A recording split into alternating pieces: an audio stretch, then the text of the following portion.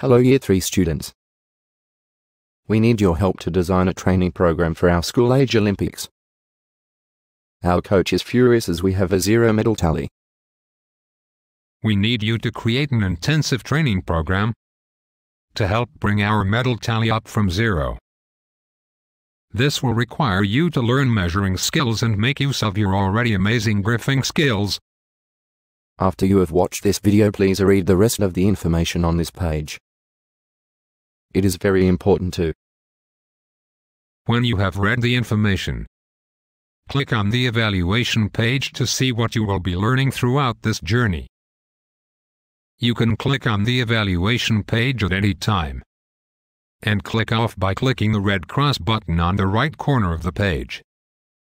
Good luck Year 3 students. We cannot wait to see what you can do for us. To help our Australian team win gold and make victory ours.